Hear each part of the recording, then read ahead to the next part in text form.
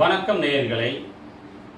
திருநெல்வேலி மாநகரில் நூறு சதவீத கொரோனா இலக்கு என்ற நிகழ்ச்சிக்கு இன்றைய பிரபலம் இசை ஆசிரியை கிருஷ்ணமால் அவர்களுடன் ஓர் நேர்காணல்.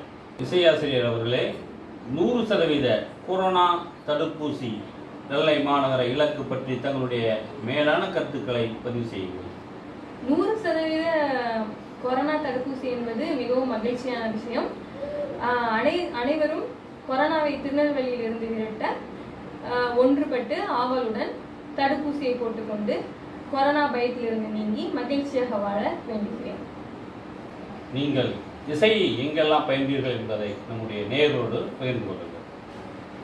நான் பத்தாம் வகுப்பு முடித்து அரசு இசைப்பள்ளியில் தேவாரம் மற்றும் பரதநாட்டியம் மூன்று ஆண்டுகள் ஆஹ் பட்டய படிப்பு படித்தேன் அதன் பிறகு மிருதங்கம் வயலின் இரண்டும் மூன்று ஆண்டுகள் படித்தேன்.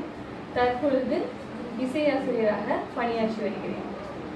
நீங்கள் இசையை பற்றி ஆய்வு செய்வதாக சொன்னீர்கள். உங்களுடைய இளங்கலை முதுகலை இளை முனைவர் பட்டம் இப்பொழுது ஆய்வு செய்வது பற்றி தாங்கள் எளிமையாக விளக்கு தமிழ்.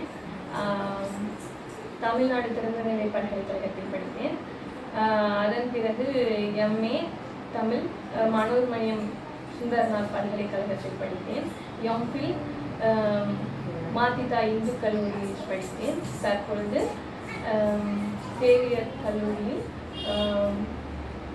இசைத்துறையில் தமிழில் பக்தி இலக்கியத்தில் இசை என்ற வகையில் டாக்டர் பட்டம் பெற ஆராய்ச்சி மேற்கொண்டு வருகிறேன் இசையை பற்றி குழந்தைகளுக்கு நீங்கள் என்ன சொல்ல விரும்புகிறீர்கள்? இப்பொழுது கொரோனா காலகட்டத்தில் வந்து அனைத்து குழந்தைகளும் வீட்டில் மகிழ்ச்சியாக விளையாடி பொழுதை போக்கி வருகிறார்கள். தருணத்தில் குழந்தைகளுக்கு இசையை கற்றுக் கொடுப்பதால் அவர்களுக்கு ஞாபக சக்தி அதிகரிக்கும் நோய் எதிர்ப்பு சக்தி அதிகரிக்கும். எனவே பெற்றோர்கள் இசையுடன் தமிழ் இலக்கியங்களையும் சங் திருக்குறள் போன்ற பாடல்களையும் பக்தி பாடல்களையும் அவங்களுக்கு வந்து சொல்லி கொடுத்தீங்கன்னா அவங்க வந்து ரொம்ப சிறப்பாக படிப்பாங்க.